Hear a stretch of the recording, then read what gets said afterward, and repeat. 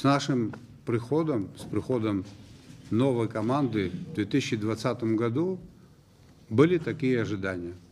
У значительного количества людей эти ожидания остаются. Перемены связаны со многими факторами. Есть знаковые явления, есть места сакральные, есть дела, которые имеют сакральное значение. Вот мы въезжаем в нашу симпатичную республику, в первый город, и сталкиваемся, проезжаем мост с очень красивым зданием, которое заброшено, но у которого есть собственники, торговый комплекс.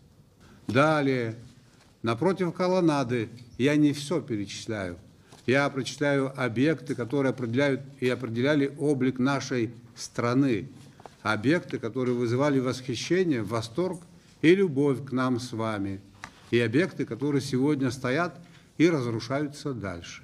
Я не знаю, кто владельцы этих объектов и у кого они в аренде. В 2022 году там должны начаться строительные работы на этих объектах.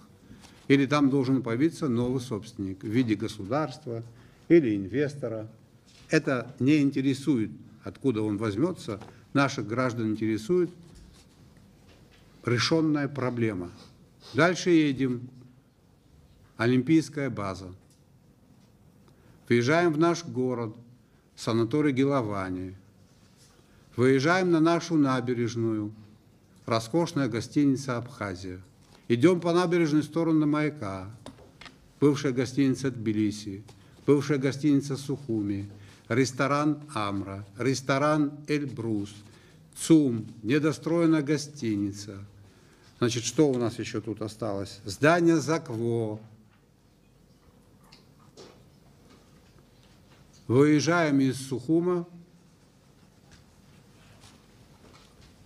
поместье Смитского.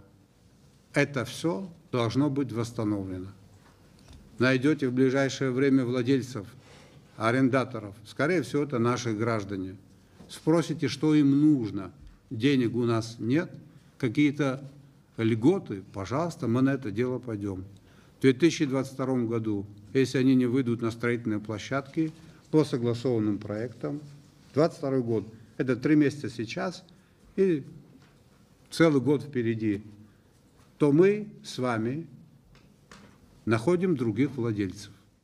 Вопрос должен быть решен системно, и меры, которые будут нами предприняты, они должны носить универсальный характер и без исключения. 2022 год должен стать поворотным в этом ключе.